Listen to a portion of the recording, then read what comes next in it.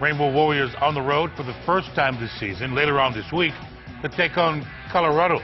And like it was in their 27-24 win over Northern Iowa last Saturday, 5'10", 215-pound sophomore running back Steven Lakalaka is expected to carry a heavy load again. Now, filling in for an injured Joey Iosefa, product from Punahou hit the Panthers for 32 carries, covering 124 yards, including a 30-yard touchdown. He more than carried the load, impressing both coaches and teammates. He got banged up a bit, but says he'll be good to go against the Buffaloes.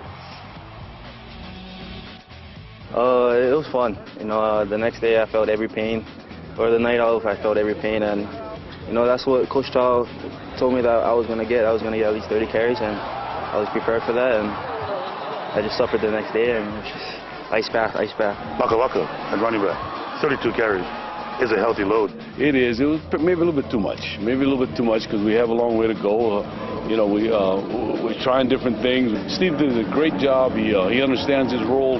No matter the carries, no matter the hit you took, you punched that 30 pretty good, though. He will score. Yeah, just thanks to the O-line. Uh, I just uh, told myself that I just got to keep pushing. I kind of felt like I needed to step up. You get a good taste like that. You get that many touches in one game. Does it leave you wanting more? Makes me want more. You know, um, makes me go back and watch film, and and it's a little mistakes here and there, and it makes me want to see what else is going to be next week, see what what else I can do, and and see if I can get better. Teams back at practice tomorrow morning at 7.